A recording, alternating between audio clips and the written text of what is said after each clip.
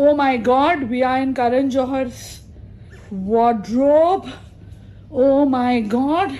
And look who's in the closet. Namaste. Hello. Karan, it's your 50th birthday. Mm-hmm. Oh my God, and you don't look 50. Thank you. But you used to. what are you wearing? Uh, well, I'm wearing Yohji Yamamoto. Who, who moto? Yohji Yamamoto. Jiski kabhi lu photo. Uh, whatever, Farah. You want to come into my closet? Why do you want to come out of your closet? Been there, done that. Oh my, oh my god, what, oh my god. You want to say anything about the designer? I would like to say that I'm in really deep shock with what you're wearing. It's actually bearable. Toodles. For a change, I am speechless.